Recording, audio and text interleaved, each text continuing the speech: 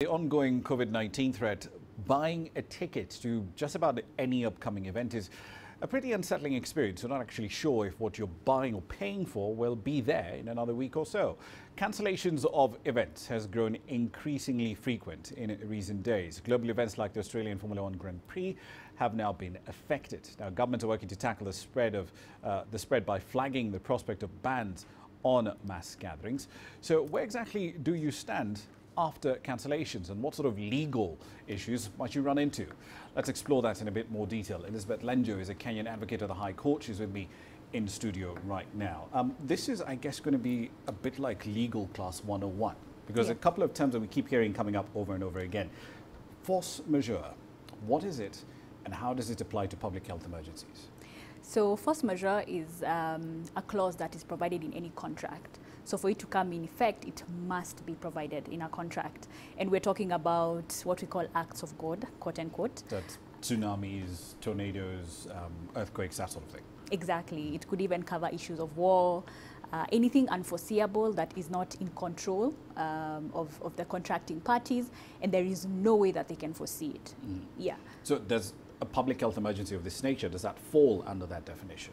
Ideally, it should, uh, but if it's not provided in a contract, then maybe we'd explore other ways of trying to cancel or invalidate a contract. So we'd probably be talking about frustration. Right, that's the other phrase that keeps coming up, frustration, because it's, as I understand it, it's a, it's a legal doctrine where one party to a contract is not able to, to meet their terms, their side of that contract, for reasons beyond their control. Exactly. And it means that uh, the performance of the contract would end up, uh, the result being what was not envisioned in a contract. So it definitely changes uh, the nature of the contract and the subject matter.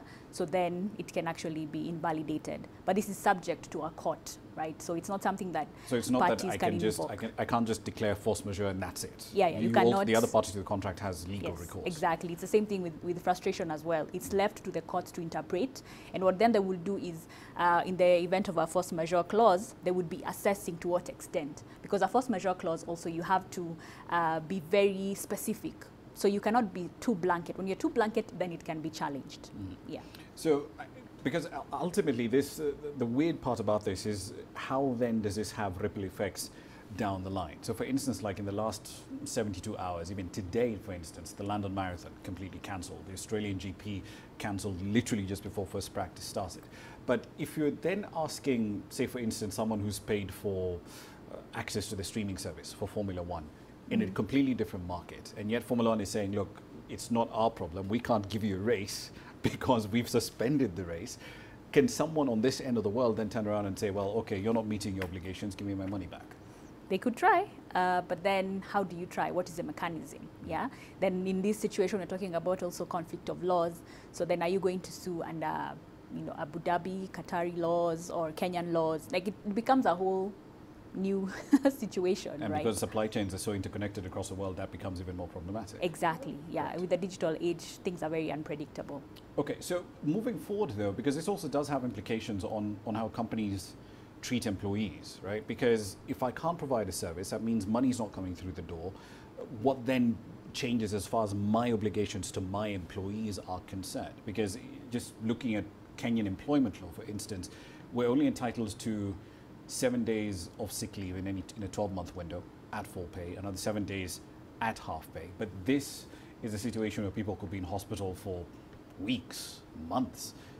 How, how do systems cope with a pandemic like this? I think we need to figure out a better way because uh, when you look at countries like Mauritius, for example, very monsoon prone, but they have infrastructure in terms of policy to make sure then uh, the employees are well compensated and they figure out how they will work offline or online, you know, depending on the situation. So we need to be more robust with our laws. Uh, when we look at the last 10 years, there's been an epidemic here and there, you know, uh, it's either been SARS or Ebola, right? So I think we're, we're at that place where we now really need to be very uh, deliberate with our laws. Uh, because Ken historically Kenya hasn't had an epidemic, so we've never really had to prep for any of this. Yeah, but you see with our interaction with the international community, it's time for us to start being more pragmatic with how we approach the law. All right, we'll leave it there for the time being. Liz Lenjo, thank you very much for your time.